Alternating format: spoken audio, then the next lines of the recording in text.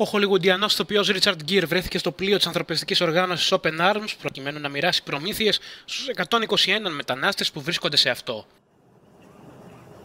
Το Ισπανικό πλοίο είναι στη Μεσόγειο για παραπάνω από μία εβδομάδα χωρίς ακόμη να έχει πάρει άδεια να προσεγγίσει λιμάνι της Ισπανίας, της Ιταλίας ή της Μάλτας. Ο 69χρονο Αμερικανός ηθοποιός ζήτησε να δοθεί άδεια στο πλοίο. Άνθρωποι από δύο φουσκωτά διασώθηκαν εδώ. Πιθανόν όλοι αυτοί οι άνθρωποι να είχαν χαθεί.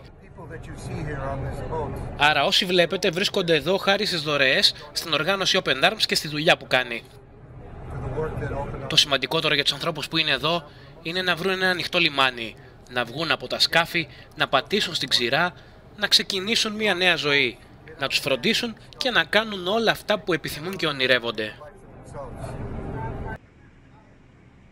Ο Ρίτσαρντ Γκίρ μίλησε σε αρκετούς μετανάστες που διέφυγαν από τη Λιβύη πριν διασωθούν κοντά στη Λαμπεντούζα και ελπίζει πως η παρουσία του θα δώσει την προβολή που απαιτείται ώστε να βρεθεί έστω ένα λιμάνι που θα δεχτεί το πλοίο.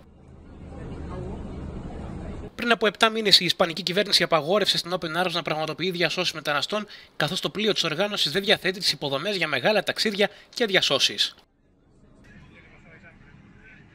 Η εκπρόσωπος της Ισπανικής κυβέρνησης, Ιζαμπέλ Σελάα, ξεκαθάρισε πως δεν γίνεται μόνο η Ισπανία να δέχεται μετανάστες, απαντώντας έτσι στον Ματέος Σαλβίνη.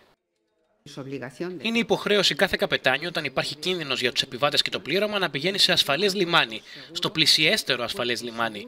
Αφαιρώντας τα αφρικανικά λιμάνια, όλοι γνωρίζουν πάρα πολύ καλά πού μπορούν να πάνε. Ε, ο Ρίτσαρντ Γκίρ είναι γνωστός για την ακτιβιστική του δράση σε ανθρωπιστικά ζητήματα. Μάλιστα, του έχει απαγορευτεί η είσοδος στην Κίνα, καθώς συχνά υπερασπίζεται τα δικαιώματα των Θηβετιανών.